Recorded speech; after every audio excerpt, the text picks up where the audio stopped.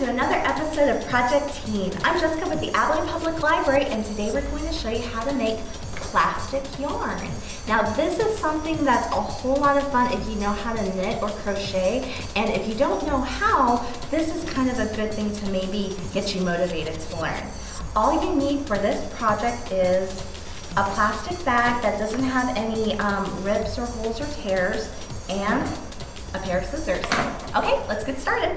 Okay, the first thing you'll do is take your bag and lay it out as flat as you can.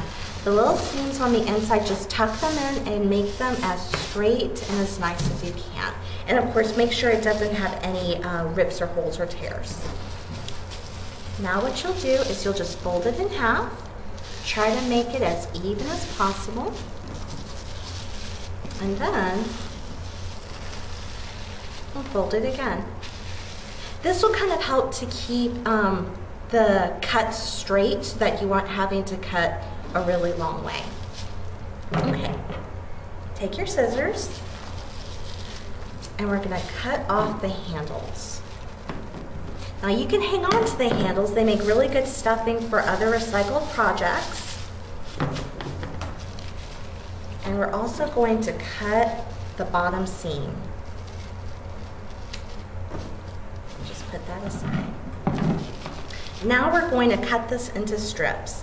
Um, depending on uh, how thick you cut them will kind of uh, let you know what you can make. One inch uh, cuts are really good for making tote bags and purses and things that you're going to handle a lot. Half an inch cuts are really good for more delicate things like lace or uh, jewelry.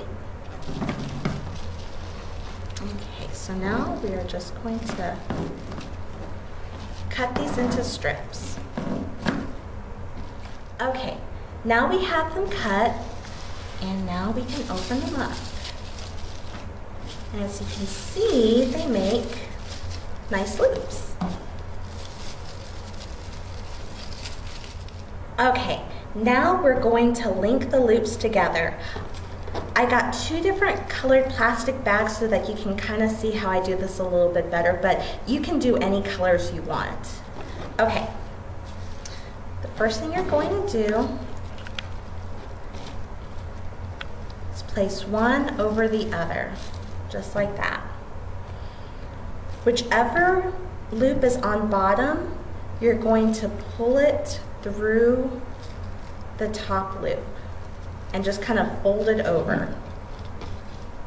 Now you're going to take that same loop and link it underneath itself